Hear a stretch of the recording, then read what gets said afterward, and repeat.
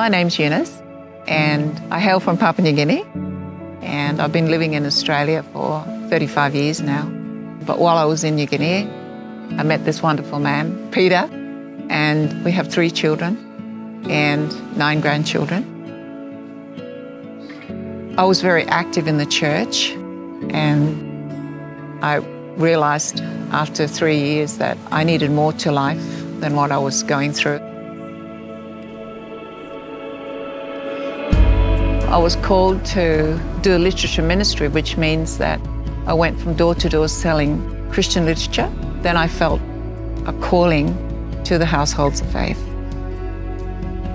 What I mean by households of faith is that we are doing church in the home.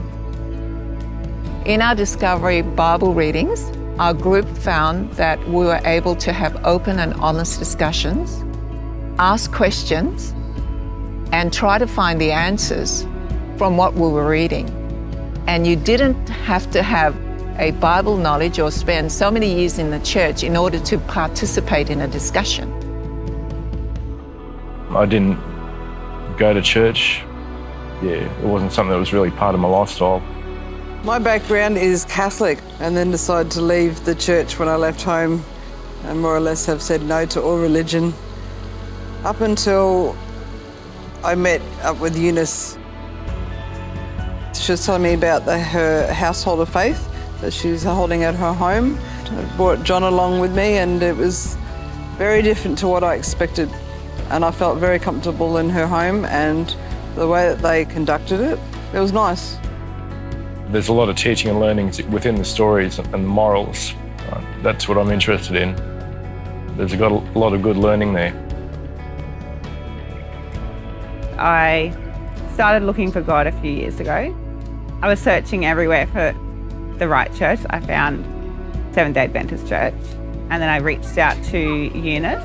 And then she invited me to the home group church. Yeah, it's been amazing.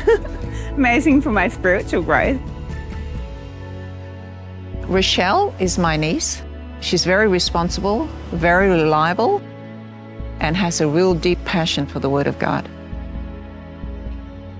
Households of Faith to me at first was a really awesome idea. I wanted to have connection with people. Yeah, getting deep into the Word. But I also wanted to be able to make friends and make really feel like I was part of a family. Doing life on your own is too hard today. But doing life with a group who supports you and who prays for you is just wonderful.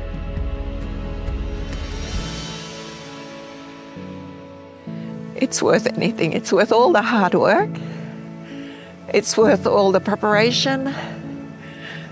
It's worth every bit of effort that I put into it. I'm really looking forward to that time when I can open my home up to others because I want to be able to see the change in how I want to be a witness to see how Jesus changes people's lives. He's done for me.